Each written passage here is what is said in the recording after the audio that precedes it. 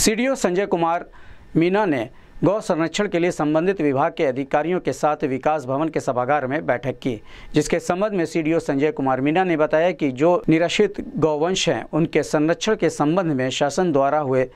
जनपद में नोडल अधिकारी नामित किया गया है। गोरखपुर में उत्तर प्रदेश सरकार में नामिमिक गंगे जलापूर्ति की विशेष सचिव राजेश कुमार पांडे को नोडल अधिकारियों नामित किया गया है, जिनके अध्यक्षता में सभी वीडियो पशु चिकित्सा अधिकारी की बैठक की गई, जिसमें निराश्रित गौ वंश की स्थिति पर चर्चा किया गया और उनका संरक्षण किस प्रकार से किया जाए निर्देश दिया गया। इस संबंध में गोरखपुरी से बात करते हुए सी संजय कुमार मीना ने कहा। देखिए, जो गौवंश, निराश्रित गौवंश है उनके संरक्षण से संबंध में। शासन द्वारा हर जनपद में नोडल ऑफिसर नामित किए गए उसी क्रम में यहाँ पर श्री राजेश कुमार पांडे सर, जो विशेष सचिव नमामि गंगे ग्रामीण जलापूर्ति हैं, वो नोडल ऑफिसर की तरह यहाँ तैनात किए गए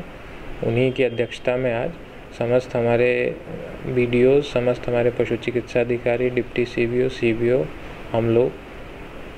बैठक की गई है, जिसमें जो हमारे निराश्रित गौवंश है, उनके संरक्षण की क्या स्थिति है, उसको कैसे हम और बेटर कर सकते हैं, और क्या हम लोगों को इम्प्रूवमेंट करने की ज़रूरत है, उस पर डिस्कशन किया गया, और सर के द्वारा जो दिशा निर्देश दिए गए हैं, उनका अनुपालन करने के लिए सभी लोगों को यहाँ पर बुलाया गया।